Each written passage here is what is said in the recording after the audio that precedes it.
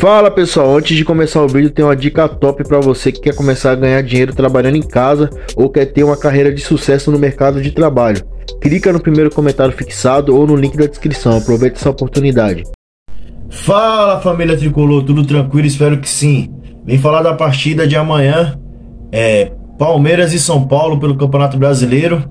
São Paulo que tem novidades, teve reunião hoje é, da diretoria é, com os jogadores do São Paulo e a organizada do São Paulo. É, teve a reunião, teve um pouco mais de uma hora essa reunião. É, os torcedores da organizada não preferiram não falar com, é, com a imprensa quando saiu da reunião. É, teve a reunião para debater aí sobre a situação do São Paulo. É, a organizada cobrou mais, cobrou, cobrou mais entrega, mais comprometimento dos jogadores nessa reta final de Brasileirão. E tá precisando mesmo, e tá precisando afastar jogadores também desse elenco. Jogadores que estão fazendo corpo mole não estão jogando. Vão. É, todos sabem que tem uma panelinha lá dentro. Vão acabar derrubando o Rogério Senna do jeito que tá aí. É, tem que começar a jogar bola. É, participaram da reunião o zagueiro Miranda, também o zagueiro Bruno Alves e o atacante Luciano. Também participou o coordenador é, técnico Murici Ramalho também participou da reunião. É, e o Reinaldo também estava na reunião também. É, teve um pouco mais de uma hora essa reunião, debateram bastante coisa.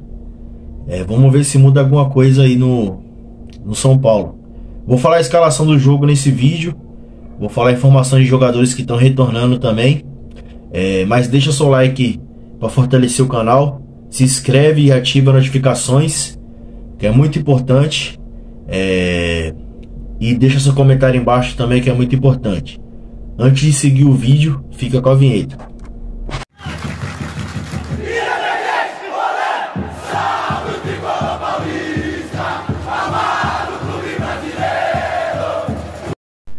Então aí o São Paulo vai visitar o Palmeiras no Allianz Parque nessa quarta-feira. O jogo vai ser 8 e meia. É, para essa partida, Rogério Ceni terá mais opções já que conta com o retorno de três atletas que foram desfalque contra o Flamengo. É, vai ter o retorno do Gabriel Sara, do Rodrigo Nestor e do Wellington também. É, eles estiveram ausentes na última partida. É, ele estava cumprindo suspensão porque sofreram cartão, é, cartões amarelos, aí cumpriram suspensão automática. Além deles, não jogaram também o Arboleda, que estava convocado para a seleção do Equador é, Luan, William e Galeano que estavam lesionados. Eles também foram desfalques. É, para essa partida aí, é, Rogério Senna vai ter Sara, que vale lembrar que ele vem sendo titular sempre com o Rogério Senna. O Rogério Senna gosta do futebol dele.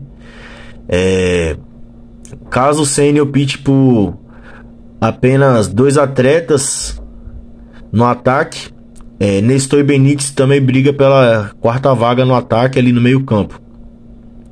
É, além de reforçar o São Paulo é, no meio-campo, ter reforços ali no meio-campo, o Rogério Ceni também pode testar uma mudança na lateral esquerda. O Elito que vinha sendo titular constantemente é, pode pintar na lateral esquerda no lugar do Reinaldo, mas eu acho bem difícil. Eu acho que o Reinaldo vai ser titular. É, vai, o Rogério vai ter reforços aí desses jogadores que voltaram. Também vai ter a ausência do atacante Caleri, que todos sabem que ele foi expulso contra o Flamengo, não vai pro jogo.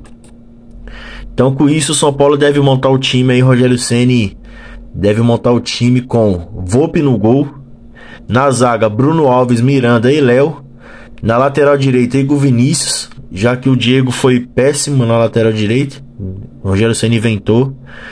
É o Diego ali na lateral direito, Diego Costa. Então deve ser Igor Vinícius. O Leruela também briga, mas deve ser Igor Vinícius. E no meio campo, Gabriel Neves, Igor Gomes e Gabriel Sara. É... Na lateral esquerda, Reinaldo. E no ataque, Luciano e Rigoni. É... Então esse deve ser o time do São Paulo. O São Paulo que tem que ganhar do Palmeiras. O Palmeiras que vem de derrota também. É, infelizmente, o São Paulo tomou uma goleada feia do Flamengo. Tem que ganhar do Palmeiras porque já tá dois pontos do Juventude. O Juventude, vale lembrar, tá com um jogo a menos. Um adversário bem difícil. Palmeiras clássico, mas clássico tudo pode acontecer. É, São Paulo já se representou hoje no CT, fez um treinamento em foco focado aí no choque rei, que vai ser um jogo bem difícil. Deixa sua opinião aí embaixo, seu comentário e se inscreva no canal se não for inscrito. Forte abraço.